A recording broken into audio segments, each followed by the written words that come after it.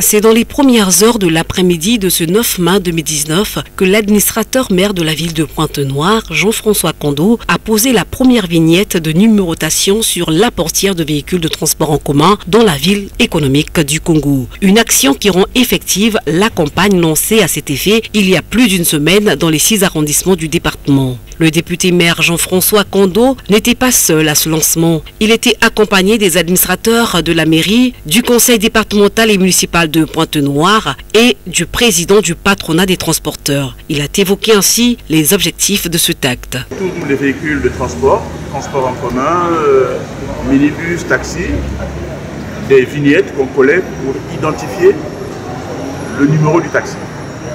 Il y avait même des numéros euh, euh, indélébiles. C'est plus pour des questions de sécurité, parce que vous savez qu'aujourd'hui, tout le monde s'improvise taxi, taximan. bon, les taximens combine avec euh, les malfrats, c'est pour permettre à celui qui prend un taxi, même s'il a oublié son téléphone dans, dans ce taxi-là, de se souvenir que c'était le taxi numéro X et ça peut faciliter les recherches.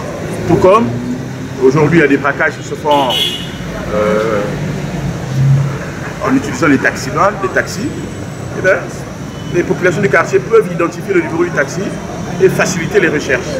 Donc c'est pour plus des questions de sécurité à la fois des populations et même des chauffeurs eux-mêmes que nous avons voulu que cette vignette-là soit euh, estampillée sur les portières des voitures pour nous permettre à la fois de faire le contrôle du nombre de taxis que nous avons dans la ville, mais aussi de savoir à chaque fois quel est le taxi qui a commis une faute.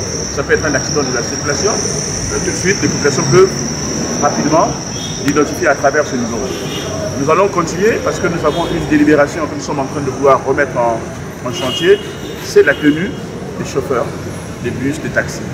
Ça a créé, ça a coincé un peu, mais nous allons relancer cela parce qu'il faut aussi que les taximens et les chauffeurs de taxi, les chauffeurs de bus La sécurité des biens et des personnes est une priorité fondamentale pour le député maire. Les véhicules concernés par cette numérotation sont entre autres les taxis, bus, cavaki et autres véhicules de transport de marchandises.